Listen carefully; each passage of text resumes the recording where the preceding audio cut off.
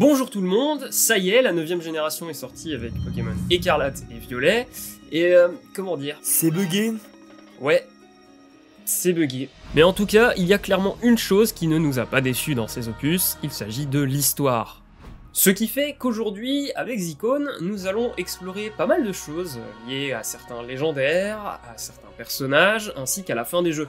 D'ailleurs, il y aura beaucoup de spoils dans cette vidéo, donc si vous êtes encore là, c'est que vous avez terminé le jeu à 100% ou que vous vous fichez d'être spoilé.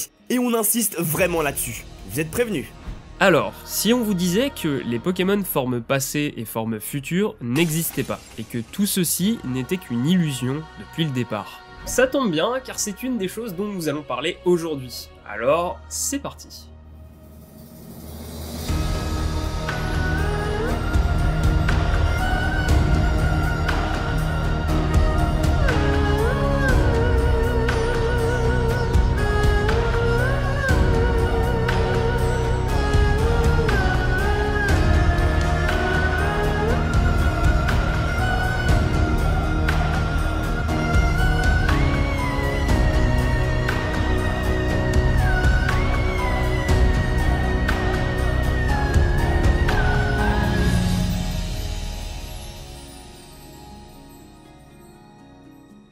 Commençons par les bases, c'est-à-dire un peu d'histoire. Il y a plus d'un million d'années, dans les anciennes terres de Paldea, était apparu un immense cratère. Était-ce une météorite venue de l'espace, une éruption volcanique ou bien un mouvement sismique? Son origine, elle, reste toujours inconnue à l'heure actuelle. Il y a 2000 ans, Paldea était contrôlé par un empire, et l'empereur croyait dur comme fer en l'existence d'un trésor au fond du cratère. Il avait envoyé un bon nombre de ses hommes en expédition afin de l'explorer. L'objectif était de faire de Paldea une puissance pouvant tenir tête aux pays voisins. C'est sûr que quand tu vois ce qui s'est passé mille ans plus tôt dans le pays d'à côté avec suprême, bah tu vas pas t'amuser à faire le malin. C'est à partir de la première expédition que débuta la période des explorations. Malheureusement, aucun des aventuriers n'avait réussi à atteindre les profondeurs de la zone durant les 1000 ans qui ont suivi.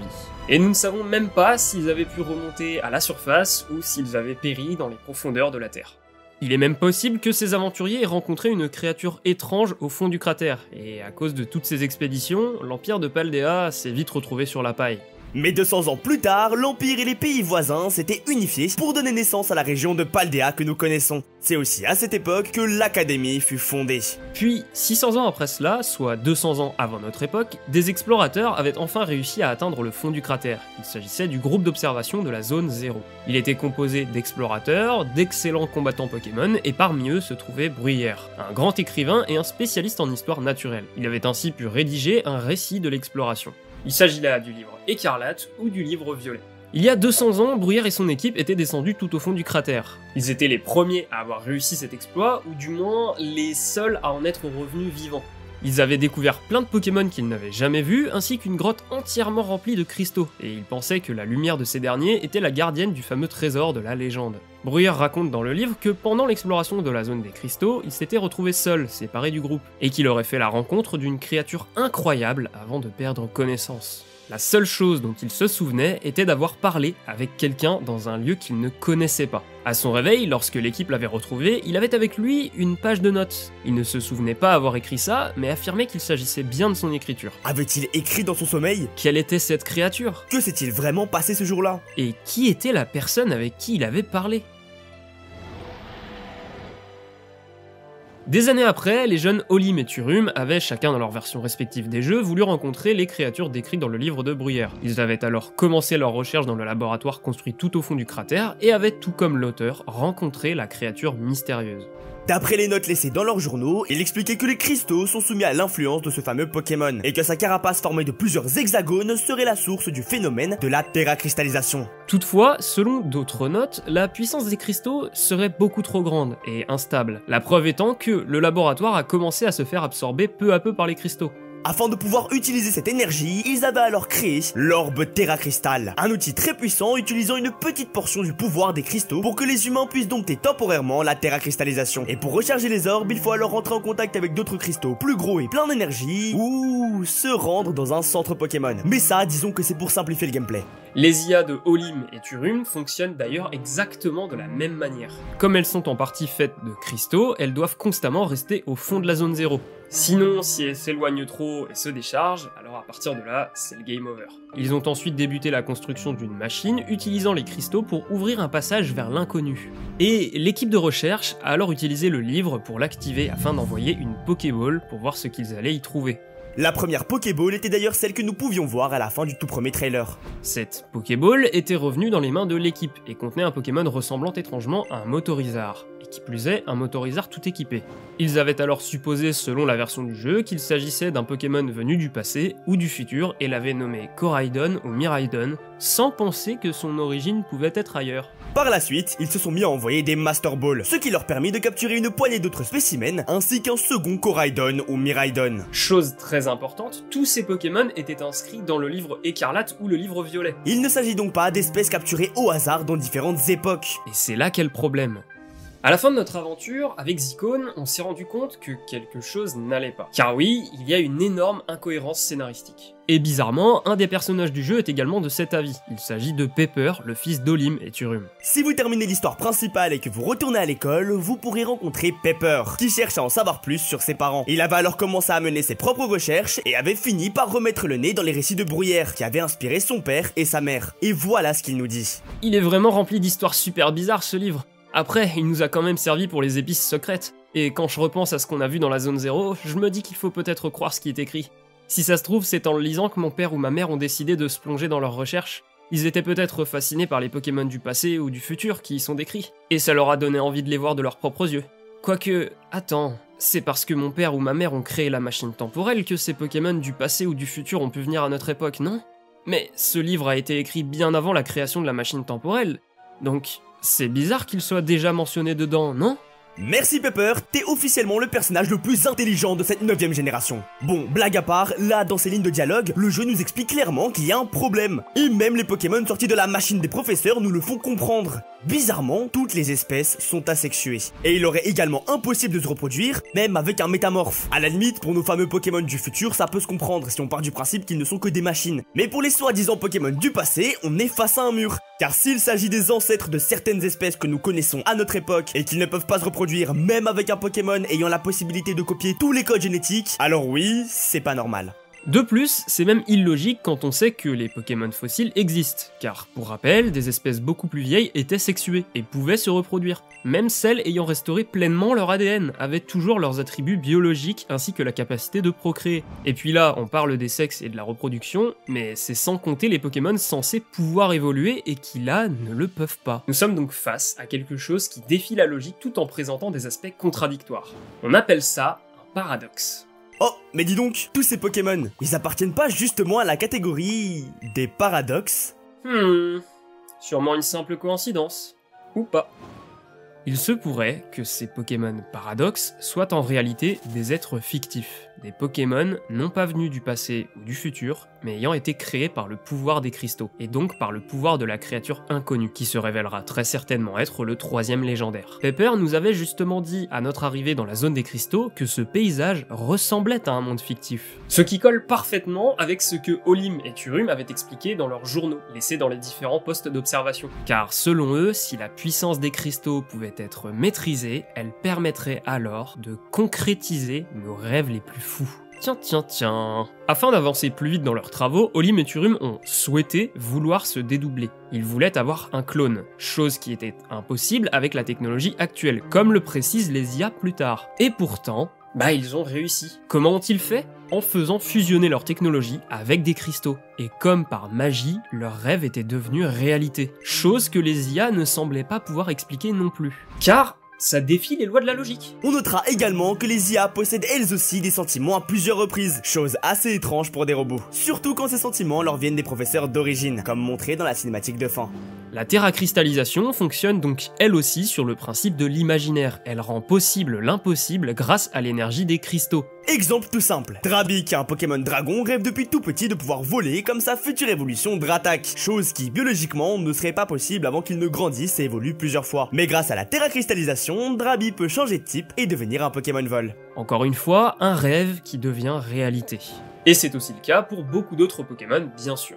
Mais si les créatures sorties de la machine ne viennent pas d'une autre époque, alors d'où viennent-elles? Eh bien, comme expliqué tout à l'heure, la clé de ce mystère se trouvait entre leurs mains depuis le début. Les Pokémon Paradox viennent du livre écarlate ou du livre violet que la machine utilise pour fonctionner. Le livre est la clé. Depuis le départ, tout était sous notre nez, car oui, tous les Pokémon paradoxes que les professeurs et leurs équipes ont fait venir à travers la machine existaient déjà dans le livre de Bruyère. La machine a simplement recréé ce qu'elle voyait dans le livre, ou du moins ce qui était décrit à l'intérieur. Et les Pokéballs envoyés dans le passage ouvert par la machine ont permis aux humains de capturer ces créatures et de les rendre réelles. Mais qu'en est-il de Coraidon et Miraidon alors? Car aucune page ne parle d'eux, et pourtant il s'agit bien des premiers Pokémon à être apparus dans la machine. Oui, c'est vrai. Sauf qu'en réalité, ils sont bien dans le livre.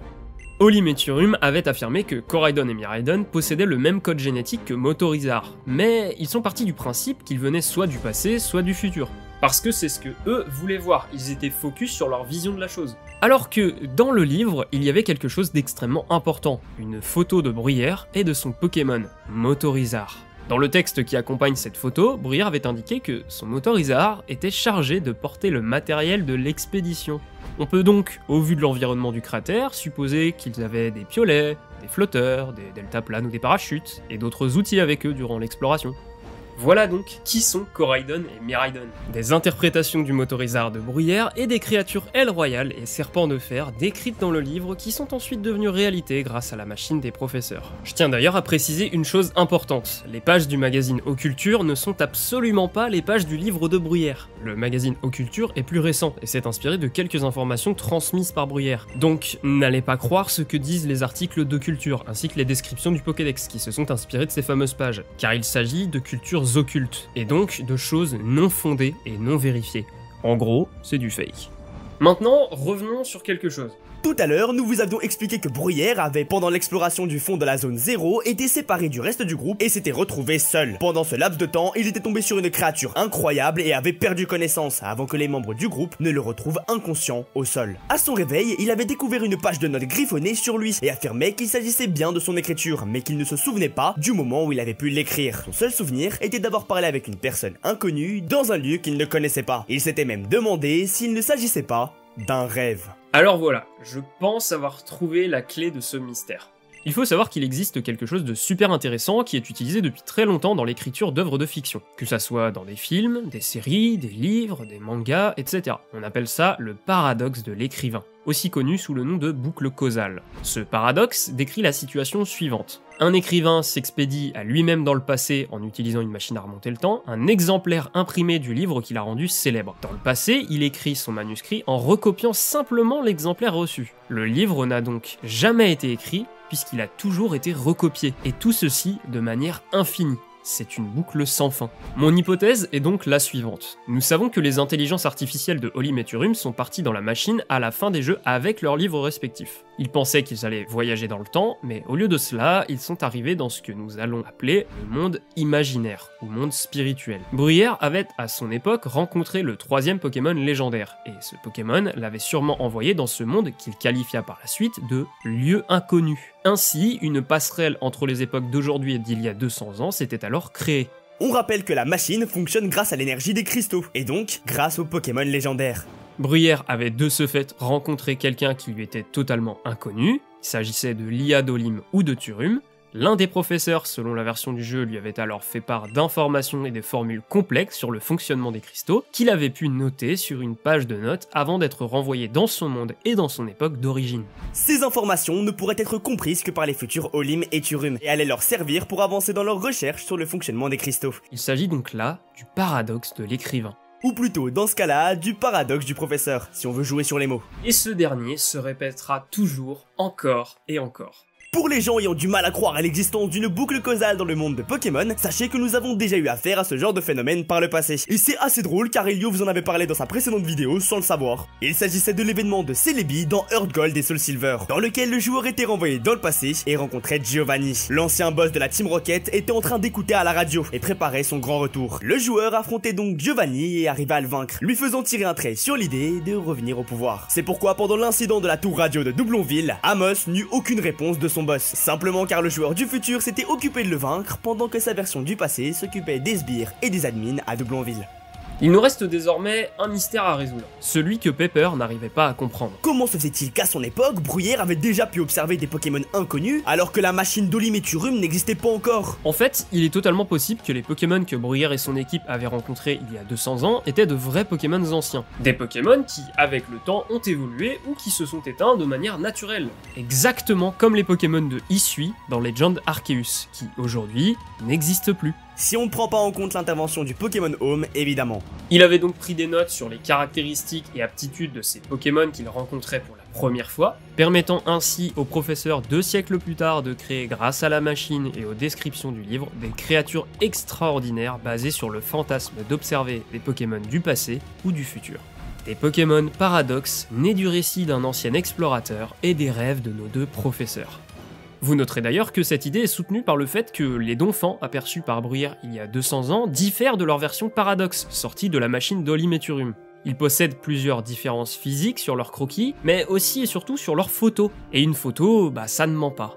En plus de vivre dans un habitat qui n'existe plus maintenant dans le cratère de Paldea. Parce qu'elle est où la jungle? Pour l'instant, tout ceci n'est évidemment qu'une théorie, mais il y a un moyen de la prouver. Vous voyez ces deux illustrations présentes dans le livre Écarlate et le livre Violet. En fait, elles nous montrent deux Pokémon chimériques. L'une serait la fusion de Entei, Raikou et Suicune, et l'autre serait la fusion de Cobaltium, Terrakium et Viridium. Sauf que la particularité de ces illustrations, c'est que les Pokémon représentés dessus n'existent pas. Ces illustrations sont le fruit de l'imagination d'une membre du groupe d'observation. Ce sont des Pokémon imaginaires. Ce qui veut dire que si nous découvrons que ces Pokémon ont pris vie ou vont prendre vie plus tard dans les jeux, alors cette théorie sera valide. Mettons désormais toute cette histoire de paradoxe de côté, et tournons-nous vers la créature inconnue ainsi que vers les 4 Pokémon légendaires qui avaient été scellés. Bruyère avait laissé à la toute fin de son livre une description de la créature qu'il avait rencontrée. Celle-ci, on s'en doute, se révélera très certainement être le troisième légendaire ou un légendaire complémentaire. Un Pokémon disque Il me semble avoir fait une étrange découverte au fond du cratère alors que j'étais séparé du groupe. Était-ce un Pokémon? Était-ce même vivant? Je n'en suis pas certain. Sa carapace, constituée de plusieurs couches d'hexagones, scintillait encore plus que des joyaux, et sa forme évoquait un disque. Sur l'illustration du livre, on y voit ce Pokémon représenté comme un être chimérique, au corps de dragon et possédant une carapace de tortue. Il s'agit là de deux créatures sacrées dans le folklore chinois, et ça tombe bien car on va justement s'y intéresser. Le dragon étant un symbole de chance, de puissance et de noblesse d'âme, là où la tortue représente la sagesse, l'endurance et la longévité.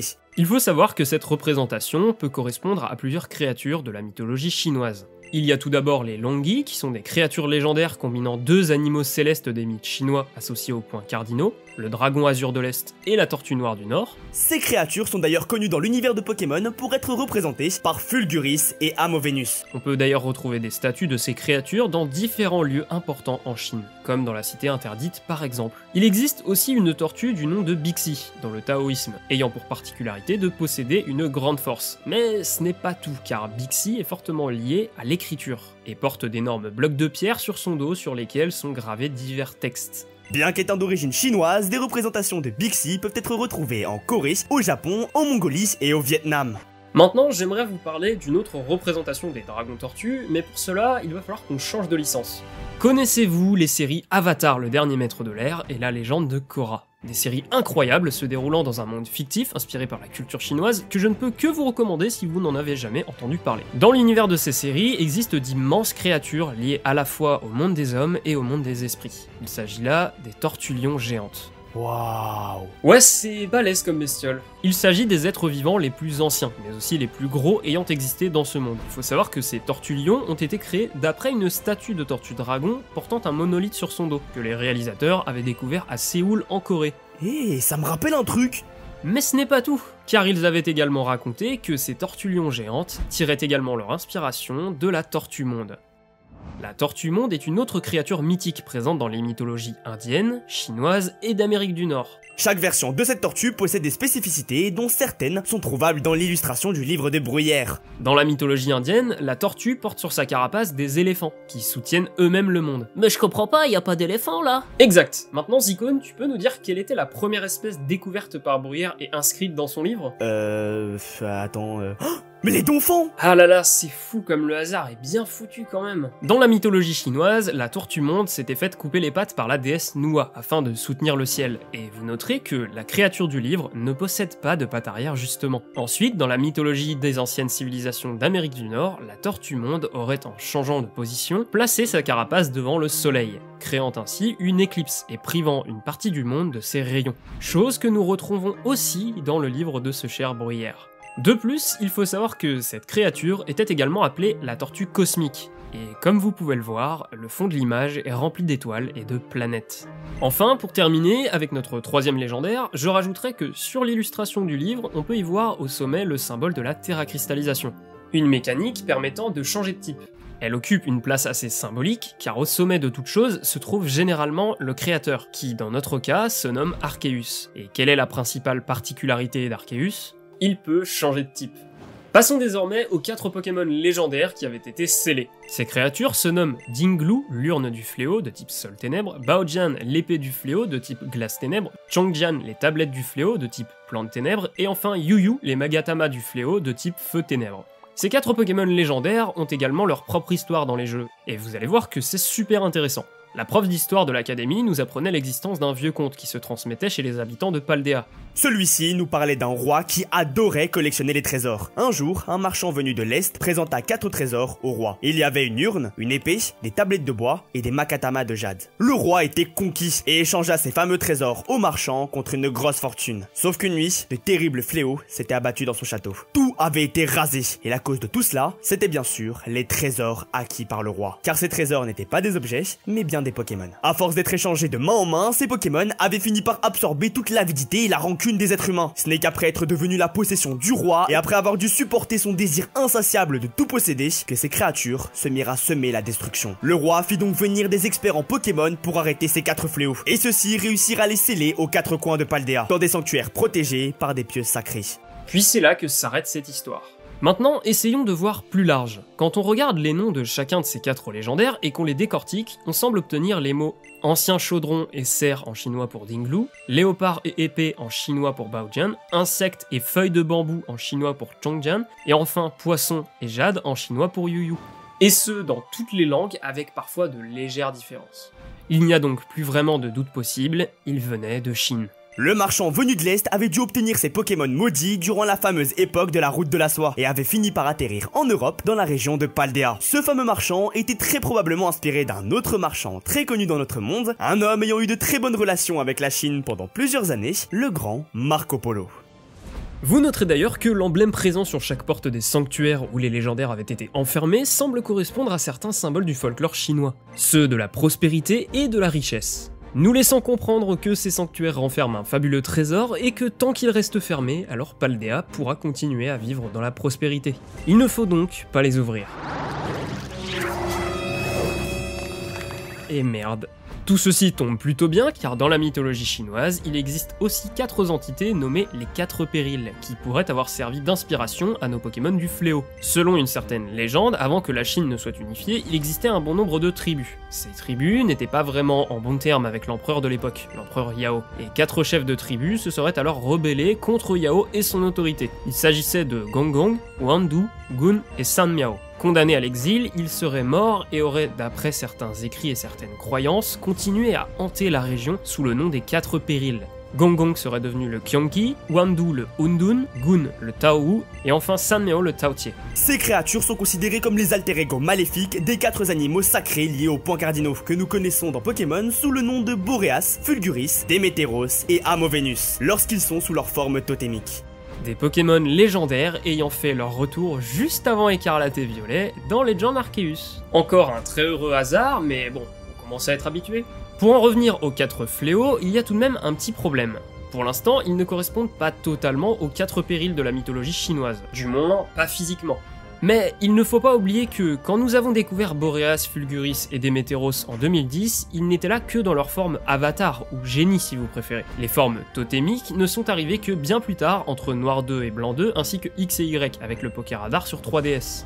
Alors peut-être que nos 4 Pokémon du fléau auront eux aussi une seconde forme, leur apportant cette fois-ci une apparence correspondant bien aux 4 périls. C'est une possibilité qui ne doit pas être ignorée. Et puis, Peut-être qu'un jour nous aurons un jeu Pokémon se déroulant en Chine. Une dixième génération pour les 30 ans de la licence par exemple, juste après un remake de Pokémon noir et blanc Le yin, le yang, tout ça, qui sait?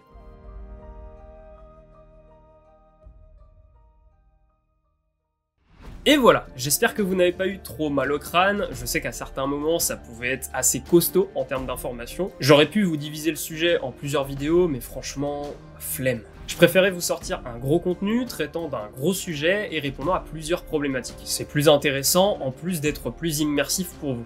Merci aux copains icônes comme d'habitude d'avoir accepté de participer, il aura su endurer mes nombreux appels Discord et messages vocaux pendant toute une semaine d'écriture, donc rien que pour ça vous devriez aller faire un tour sur sa chaîne si vous ne le connaissez pas. N'hésitez pas à vous abonner à la chaîne si le contenu vous a plu, on a dépassé les 35 000 abonnés il y a quelques jours en plus de ça, donc merci beaucoup. Vous pouvez également me suivre sur Twitter ainsi que rejoindre mon serveur Discord, tout est en description. Et puis sur ce, on vous souhaite de passer de bonnes fêtes de fin d'année, joyeux Noël, Bisous. Ciao